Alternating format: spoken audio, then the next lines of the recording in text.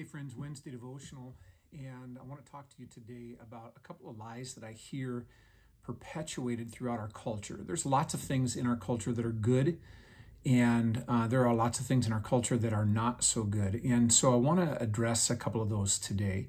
First, um, the kind of the grounding reality is, or the grounding truth is that God is at the center of all of life. That the scriptures say that in him we live and move and have our being. That's Acts 17.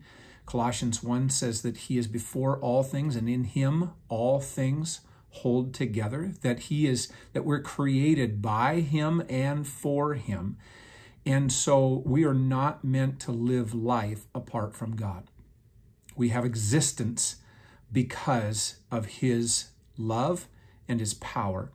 So the two lies that I see that are being perpetuated in our culture is first the lie of autonomy, that people believe that they are um, they have a right to live autonomous lives. They have a right to live independent and to do whatever they want to do.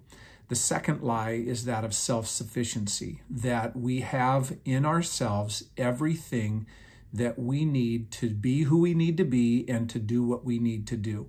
So, this first lie of autonomy is just simply it's a disregard for the very fact that we've been given life by God, that we exist by Him and for Him. And so it's a rejection of the very core of what it means to be human. He is the giver of life, He's the governor of life, and He's the one who defines how we're supposed to live our lives. This lie of self sufficiency is this idea that. Um, that it again, it's a disregard that God has created us not to be islands in and of ourselves, not to be self sufficient. Um, the opposite of that, of that is also true. We're not to be dependent on everyone.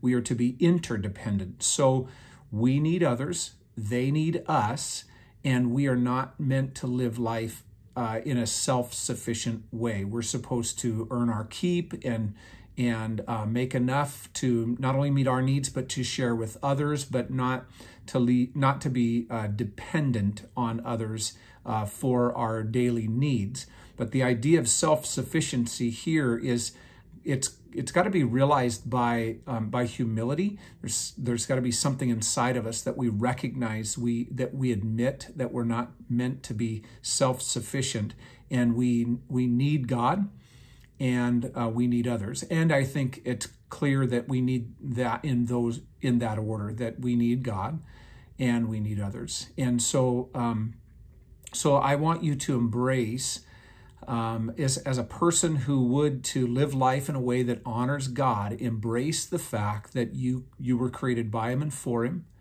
that in Him we live and move and have our being, that we are to bring glory and honor to Him by living lives that are not autonomous lives and that are not self sufficient lives, but we live lives where we recognize our need for God, where we honor Him by the way we live, allowing Him to define life uh, as it is to be lived and to live interdependent lives, others, others being able to depend on us as we depend on God and depend on others. So that's our Wednesday devotional today. And hey, I think this is the first time I kept it under four minutes. God bless you.